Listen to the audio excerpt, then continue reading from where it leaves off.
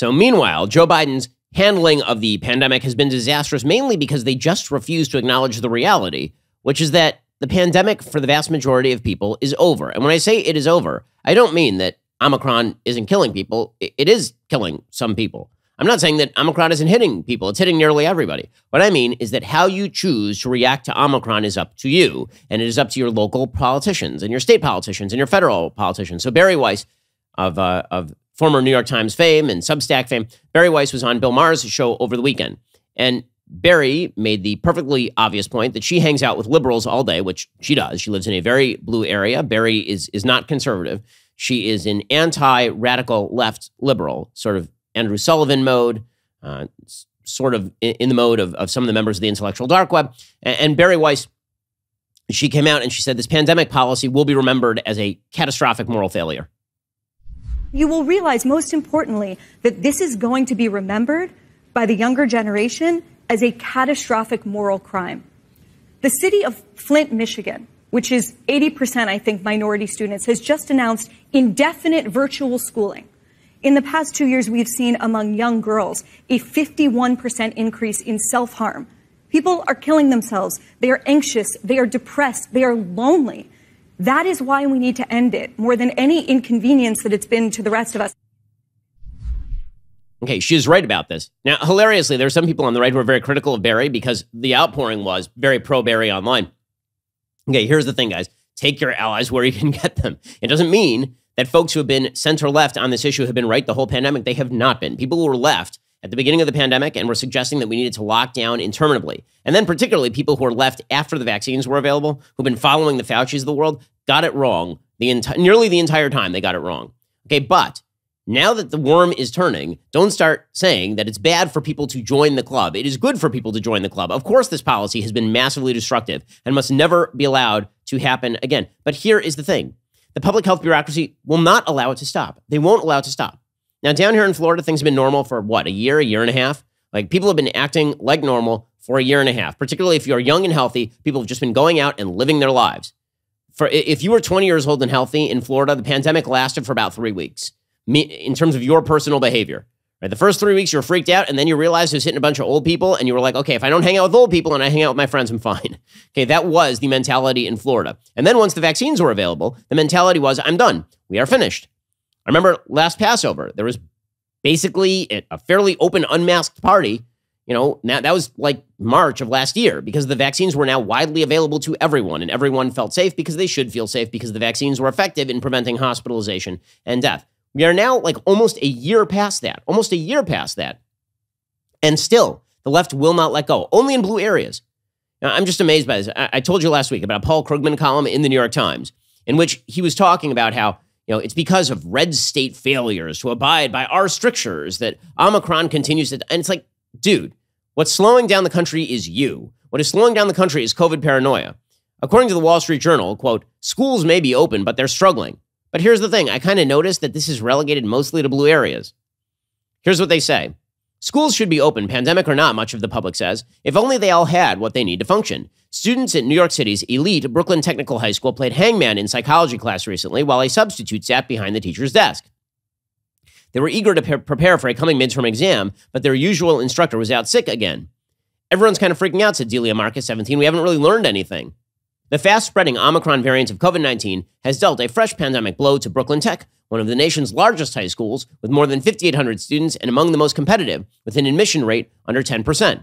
The problem there, and in many other schools, boils down to a mismatch between demand and supply. While many officials and parents nationwide push to keep kids in schools and away from remote learning, Omicron has left many schools short of the essentials needed to operate, like teachers, substitutes, bus drivers, cafeteria workers, and sometimes students themselves. Teachers say they struggle to teach in classrooms while also delivering remote lessons to students who can't attend because they tested positive or were near someone who did. And yet the left can't let it go. They just cannot. So Kathy Hochul up in New York, she's still defending mask mandates for kids based on nothing, based on zero things. It's crazy. Here she is. I know people are tired, but I also will say one thing about the kids. My daughter had a meltdown over having to put sneakers on to go to kindergarten. She got used to wearing sneakers in school. I mean, just they, they adapt better than adults do. And I'm really proud of the parents who made sure that their kids understood this is for their safety and got it done. Okay, this is insane. I'm sorry. Kids do not adjust better than adults do to things like wearing masks. And if they do, it is because they have now imbibed the insanity from their parents and their grandparents. I don't know what kind of society sacrifices the future and the current welfare of their children on behalf of the 80 year olds. I don't know what kind of society does that to prevent, to pretend that it is the kids who are the danger to a society where everyone is now having Omicron unmasked and the kids are the least vulnerable is totally crazy. But again, the public health bureaucracy can't let go because to let go would be to acknowledge that they got it wrong in the first place. So you still have Anthony Fauci out there. I don't know why he's still out there. He's still saying, don't get overconfident. Why is anyone listening to this dunderhead? Why? He's been wrong every step of this pandemic. It's amazing.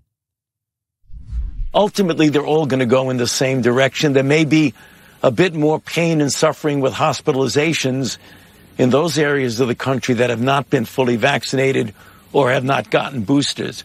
But we do know, and that these are the recent data that have come out from the CDC, that even with Omicron, boosting makes a major, major difference in protecting you from hospitalization and severe outcomes. So things are looking good. We don't want to get overconfident, but they all look like they're going in the right direction right now. We don't want to get overconfident. We never want to get overconfident. We can't get overconfident. I mean, like, what in the hell? What in the hell? You couldn't control this thing the entire time. Can't get overconfident. Meanwhile, Biden's CDC director is still telling people that fully vaccinated now means boosted. That's what it means. Just endless. By the way, you know what the number one country on planet Earth right now in terms of per capita Omicron cases is? Israel, where everyone is like boosted eight times. In Israel, 80% of your body weight is now the vaccine.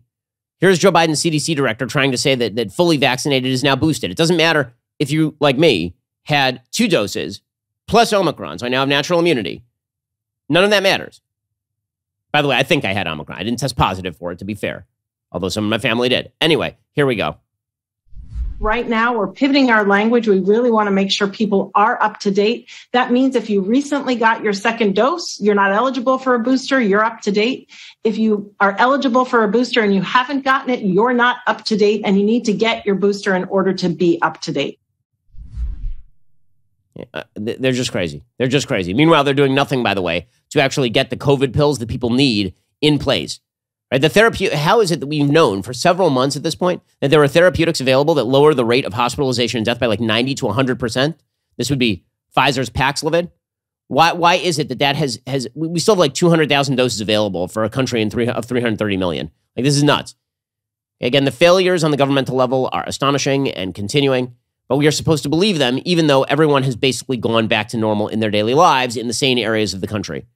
So get the left should they can get as pissed at Bari Weiss and Bill Maher as they want, but the reality is that Bari and Bill have it right because we had it right before Bari and Bill did.